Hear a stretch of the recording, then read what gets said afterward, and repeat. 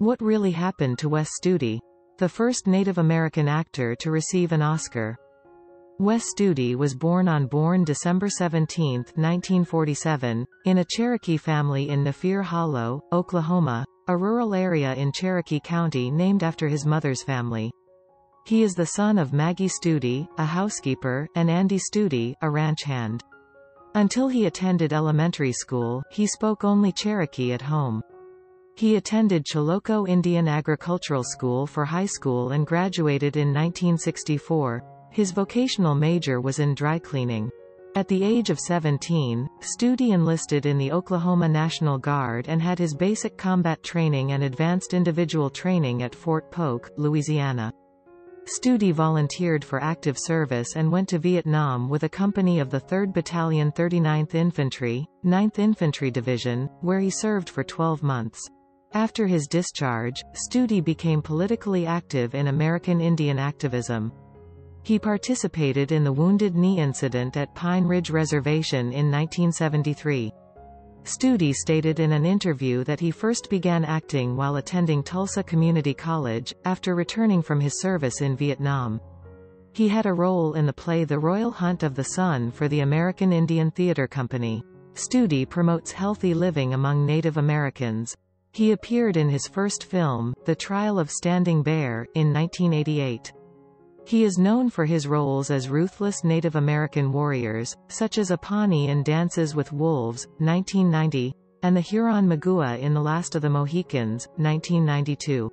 A year later, he was cast with Eric Schweig for TNT's film The Broken Chain, about the historic Iroquois League that was based in the area of central and western present-day New York State.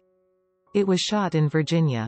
This was part of a group of productions shown over 14 months on TNT as its Native American initiative, including three television movies and several documentaries. A six-hour history series was told from a Native American perspective. In 1993 Studi had the lead in Geronimo, an American legend.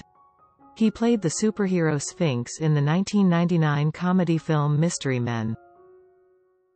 By 2002, Studi brought to life the character of Lieutenant Joe Leaphorn, for a series of PBS movies based on Tony Hillerman's novels set in the Southwest among the Navajo and Hopi.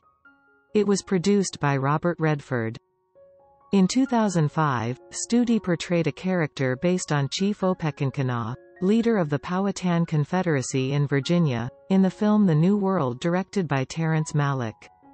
In 2009, Studi appeared as Major Ridge, a leader of the Cherokee before the Native American removal to Indian Territory, in Trail of Tears.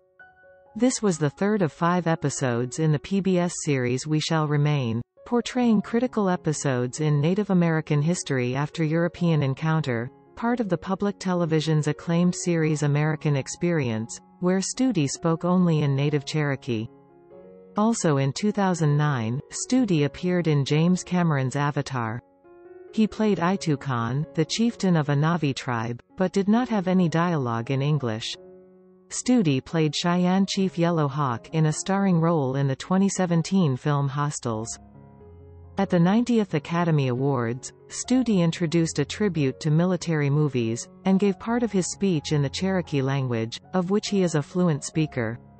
Studi is the second Native American actor to present at the Academy Awards. Will Rogers hosted in 1934. In 2019, he received an Academy Honorary Award, becoming the second Indigenous person to be honored, and the first Native American actor to receive an Oscar specifically for acting.